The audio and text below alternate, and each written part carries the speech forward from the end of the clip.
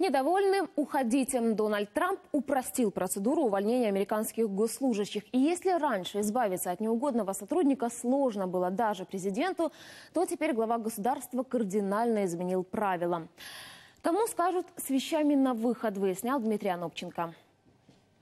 В Америке не так уж и много чиновников федерального уровня. 3 миллиона на 300-миллионную страну. На госслужбу приходят не за заработком. В бизнесе зарплаты больше, а за влиянием. И работать на государство действительно престижно. Страховка, много льгот. А еще уволить чиновника было практически нереально.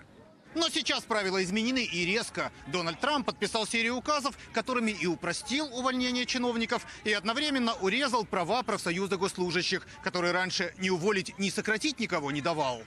Раньше увольнение кадрового чиновника в среднем до года занимало, если он не согласен уйти по собственному.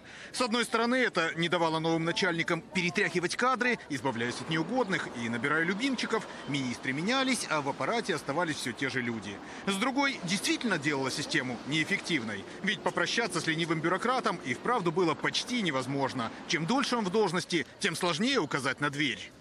Комментируя происходящее, в Белом доме говорят, мол, все правильно, президент Трамп выполняет свои предвыборные обещания, делает государственную систему эффективнее. А вот Федерация американских госслужащих, которая треть чиновников страны объединяет, уже говорят о наступлении на демократию. У тех, кто на должности давно, Трамп сейчас отобрал преимущество перед новичками, теперь все равны. Предусмотрел в указе 30-дневный срок, чтобы исправиться, если твоей работой сверху недовольны. И шаги вроде бы правильные, и люди готовы их поддержать. Но многие опасаются, что новые указы окружение президента используют, чтобы зачистить администрацию от нелояльных, которых во властной команде по-прежнему хватает. Из Вашингтона Дмитрий Анопченко, Юрий Романюк, Американское бюро телеканала «Интер».